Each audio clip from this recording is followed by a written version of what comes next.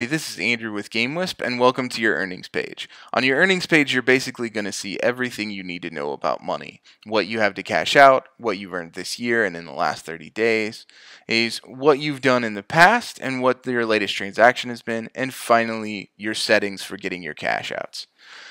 We can dig further into this page. For example, if we go to details, we're going to be able to see what your earnings have looked like over the past year in a fun little chart, and also in the last 30 days. These charts, of course, would look different. I just have the one subscriber. You can also get a download a CSV if you want to of everything going on with this particular page.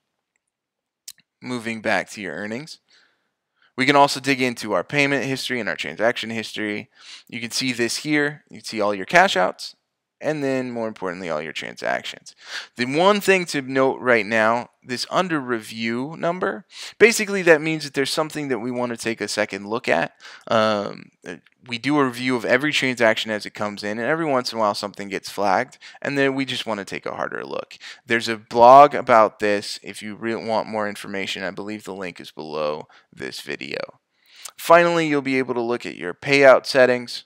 If we go there, you'll see that currently PayPal is the only option, but we're going to be adding some additional options, so just be on the lookout for that. You'd put your PayPal email here. And then finally, if you want to give to charity, you can do that by clicking on one of these great charities, and it'll give you the option of giving a percentage of your monthly income to that charity. The system will do that automatically.